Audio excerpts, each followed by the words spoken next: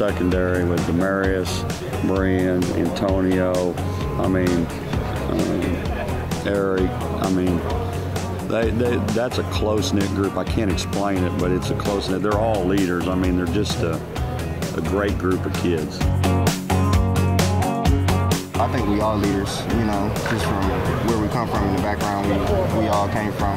So collectively, we all lead each other and we all got that kind of relationship like to where if I wasn't doing something like, you know, anybody who wasn't playing or, you know, have a less significant role, they can, you know, say something to me and really get on me and I appreciate that because they making me better.